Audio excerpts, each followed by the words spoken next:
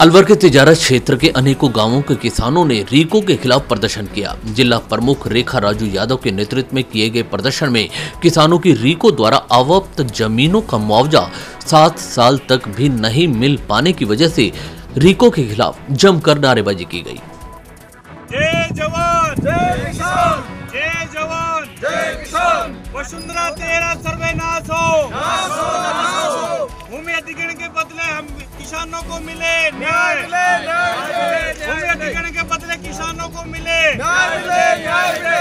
भूमि अधिग्रहण के बदले किसानों को मिले। न्याय मिले न्याय मिले। गौरतलब है कि गाँवों के किसानों की ज़मीन अधिग्रहण लगभग सात साल पहले रिको एवं अन्य अंतर्राष्ट्रीय कंपनियों द्वारा अधिग्रहण कर ली गई थी। अधिग्रहण ज़मीन के एवज में जो 25 प्रतिशत ज़मीन उनको मिलनी थी उनके पट्टे लेने के लिए किसान चक्कर लगाने को मजबूर हैं। वर्तमान में उस क्षेत्र में आज बहुराष्ट्रीय कंपनियों ने कब्जा कर रखा है। उस क्षेत्र के किसान आज सरकार के आगे हाथ फैलाकर अपनी ज़मीन के पट्टों के लिए सरकारी दफ्तरों के चक्कर लगा रहे हैं। सरकार को जब ज़मीन की आवश्यकता थी तो किसानों को कम दरों पर ज़मीन को लेने की कार्यवाही कर दी गई और किसानों को उनकी रिहायशी इलाके में ज़मीन का पट्टा देने का आश्वासन दिया गया था।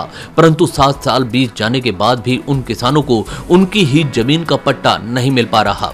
इस हालात में किसानों की ज़मीन में समाधि लेने की सी स्थिति पैदा हो गई। किसानों का कहना था कि आने वाले समय में किसानों की आत्महत्याओं की घटनाएँ बढ़ेंगी। क्षेत्र के किसान ने आज अवाप्त की गई भूमि में अर्ध समाधि ग्रहण कर अपनी मांगों को लेकर विरोध प्रदर्शन किया। किसानों का कहना था कि करीब सात वर्ष पूर्व उनकी ज़मीन का अधिग्रहण किया गया था। इस धरना प्रदर्शन के दौरान जिला प्रमुख रेखा राजू यादव, कांग्रेस नेता राजू यादव, कांग्रेस जिला महासचिव देशपाल यादव एमपीएस वीरेंद्र सिंह, वीरेंद्र बोहरा आदि सहित सैकड़ों किसान मौजूद रहे। कमालपुर सहित पाँच छः गाँवों के, ज़िले के किसानों के साथ अन्याय बर्दाश्त नहीं किया जाएगा। ये एक शुरुआत है। के किसानों के सामने झुकना पड़ेगा।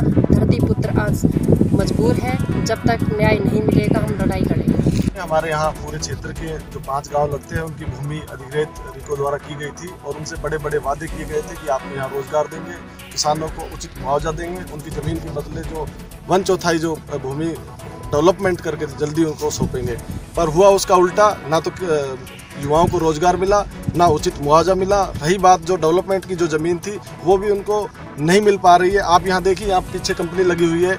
माइक्रोमैक्स जो एक इंटरनेशनल कंपनी है, यहाँ इंटरनेशनल कंपनी हो, चाहे नेशनल कंपनियाँ हो, उनको तो पहले प्रायरिटी दी जा रही है और किसानों को अनदेखा किया जा रहा है।